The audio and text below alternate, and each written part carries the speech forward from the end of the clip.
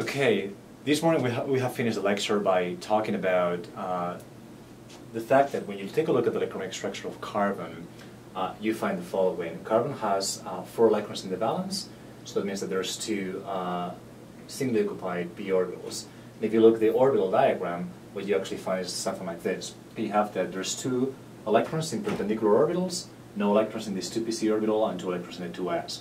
So from bond theory, what you would expect to find is uh, that carbon can form two bonds, and the geometry uh, around that carbon atom should be 90 degrees because the 2py orbital and the 2px orbital are perpendicular to each other. However, that's not what happens in nature. In nature, you actually have a variety of compounds in which the geometry around the carbon atom can be vastly different. For example, in methane, you have that there's actually four connections or four bonds to carbon, and they're in a tetrahedral environment where that is the angle 109.41 uh, in a molecule like ethylene, you actually have that there's three connections or three bonds uh, with the atoms, and they form 120 degrees with each other. This molecule is planar, not tetrahedral. And in that molecule, which is acetylene, you have there's only two connections uh, with with atoms, and they're actually forming a 180 degree from each other. So the question is, how on earth can we take this electronic uh, structure and be able to explain all that? All right, so, so this is what the concept of hybridization of uh, natural atomic orbitals is going to allow you to do. All right, uh, let's uh, uh take a look at the energy uh, levels uh, for those orbitals. Okay, that will be the 2s, and this will be the 2p orbitals, where this is going to be the x, the y, and the z. All right, so this is what the electronic structure is. And again, according to this, in principle, you would be only uh, be able to form only two bonds uh, with those two singly occupied uh, orbitals, and they should be 90 degrees from each other. Uh, what I'm actually, actually going to explain is uh, the hybridization that allows you to, to uh, figure out why methane is tetrahedral. Okay, and that is the first step of hybridization, which we're going to call sp3 hybridization. Right? So the story is as follows uh, you can actually get this electron and then promote it right there. Notice that I have changed the spin to satisfy uh, Hund's rule right there. According to this, what actually happens is that now you have the possibility for four bonds. Okay, but of those four bonds, three would be of a kind, those formed by the two p uh, orbitals, and one would be of a different kind, uh, formed by the 2s orbital. Okay, what you actually find is that, uh, well, those four bonds are exactly identical. So, this, this simply is not the way that uh, carbon is bonded in that structure. Instead, what we're actually going to do to justify that those four bonds are identical is to mix uh, all of these uh, atomic orbitals to form new hybrid orbitals. Okay? So we mix uh, uh, the 2s orbital with the 2px, 2py, and 2pz to form uh, hybrid atomic orbitals, which we're going to call sp3. Okay? A couple of important rules here. Uh, the number of hybrid orbitals that you get is exactly the same as the number of natural orbitals that you mix. So here we're mixing one, two, three, four natural orbitals, and we're getting four hybrid orbitals. Okay? They're called sp3 because again you're hybridizing one s orbital with three 2p orbitals. Now the electronic configuration would be something like this. And what that means is now that you're going, you're going to have four identical orbitals, and you're going to be able to establish four uh, identical bonds. Okay, the only thing that uh, uh, we're not explaining with this, uh, with this first promotion of electronic configuration and then hybridization, is why the shape uh, should be tetrahedral. Okay, so to explain that tetrahedral shape, what we actually have to do is take a look at the uh, rules of the mixing, again to justify that the environment or that carbon atom should be that of a tetrahedron. Okay, so uh, let me actually explain how that is done by erasing this. Right, the way that we mix these orbitals, uh, the way that we can explain that uh, uh, that shape, uh, is going to necessitate for us to actually take a look in detail of how those orbitals are mixed. Okay. And the way that they are mixed, the way that we uh, understand that today, is by forming a linear combination. So each hybrid orbital is going to be a linear combination of the 2s, 2px, 2py, and 2pz orbitals. Okay, so you're going to have four linear combinations. The first uh, sp3 uh, hybrid orbital is going to be something like this. You're going to mix the 2s with the plus 2px, with the plus 2py, and with the plus 2pz. Okay? And here we actually have that there's a normalization factor of 1, 2. This is the same type of normalization factor that we have encountered when we were normalizing wave functions earlier in the semester. It's not very important what this number is. Okay? The second linear combination uh, that gives rise to the second uh, sp3 hybrid orbital is going to be the following. S plus px minus py minus pz. Okay, notice that again, this is still a linear combination, but the coefficients of the uh, combination are different. Here you have plus 1, plus 1, plus 1, plus 1. Here you have plus 1, plus 1, minus 1, minus 1. Okay, so uh, this mixing of orbitals in this fashion is going to give you a different orbital than that, which is going to be pointing in a different direction. And we'll have to justify again uh, why, uh, what directions they are pointing in. Okay? Uh, the third one is going to have this uh, combination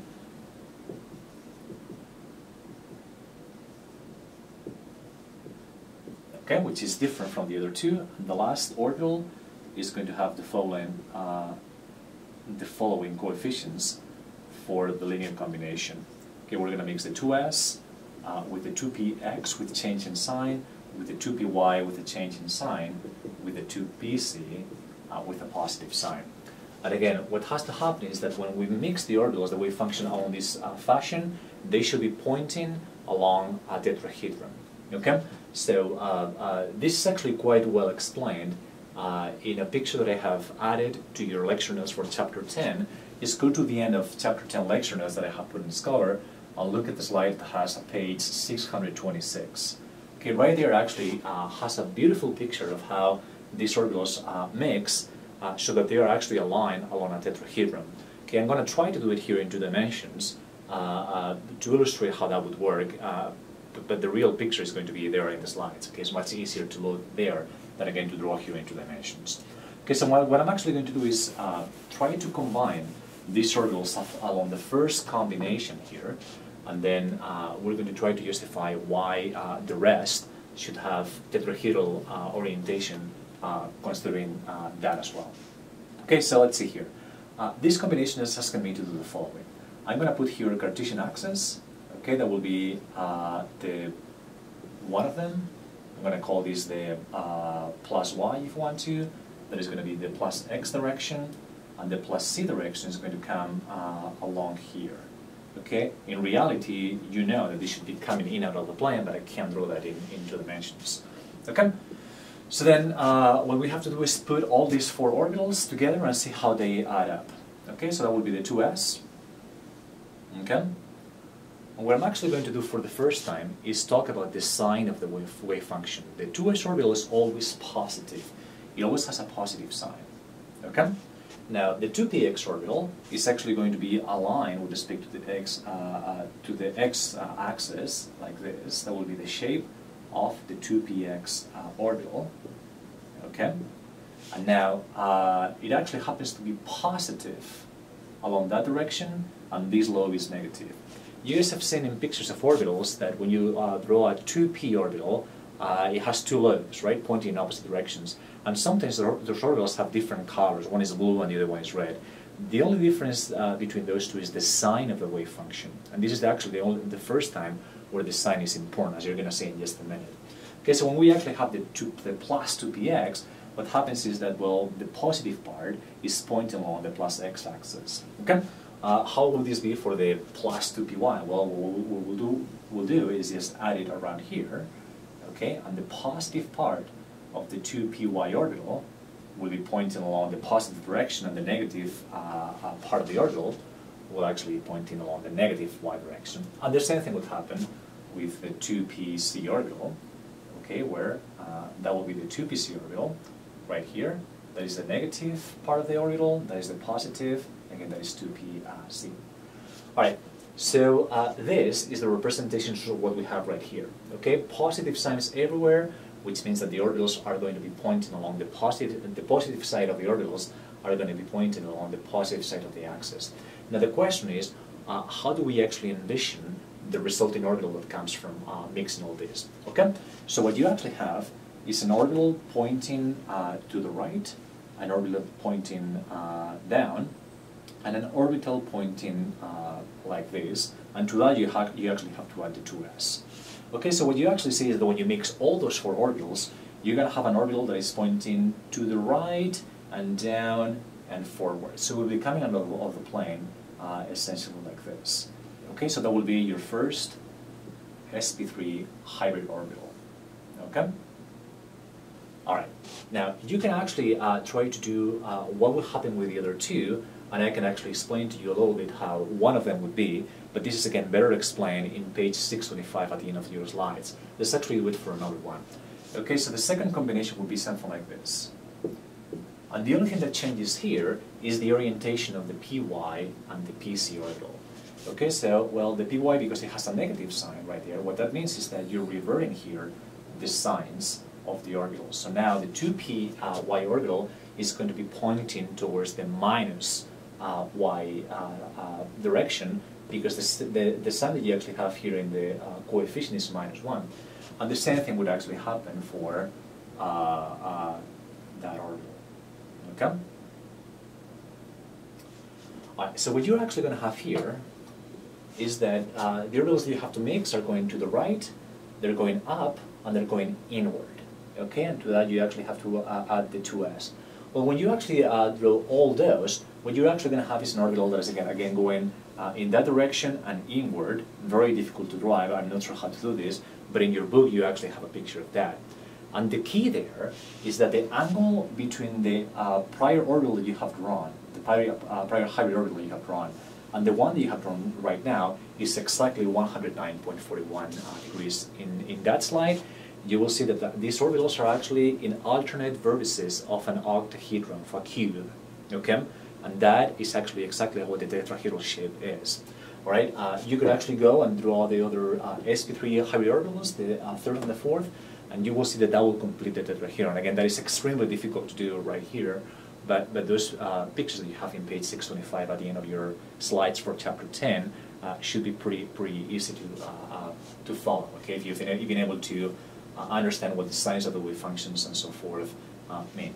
Right. So in the end, what I'm actually just going to do is again, hopefully you've I've convinced you, especially after looking at the, those diagrams, that when you actually mix the S, P, X, P, Y, and P, Z orbitals according to those four linear combinations, what you actually are going to end up with is uh, four sp3 hybrid orbitals that are pointing towards uh, opposite sides of a cube, which is exactly the tetrahedral shape. Okay, this is how uh, one of the sp3s look like, and you have a one lobe right here and a tiny little electronic density on the other side. Uh, the second one would point right here, okay, sp3, okay, uh, and this angle is 109.41 degrees. Okay, the third one would be pointing uh, in this direction and a little bit out of the plane, and the last one will be inside the plane a little bit. Okay, so that will be your uh, sp3, and the other one would be pointing inside the plane and down. Okay, so that would be uh, sp3. Now, each one of these uh, orbitals has one electron, according to what we did when we were mixing them. Okay, this, this was what we actually have found after the promotion and hybridization. Now what we can then use uh, is this uh, electronic uh, configuration, this spin should be out actually, now that I look at it. Okay, according to Hund's rule, they all should be pointing in the same direction. Alright, great. Uh, what we can actually do is use valence bond theory to uh, see what the uh, how the bonding configuration would be for methane. Well, what you can see is that once you have these orbitals for carbon, what you actually do is say, well, this orbital right here is going to overlap with the 1s orbital of this hydrogen atom that has one electron to form a sigma overlap.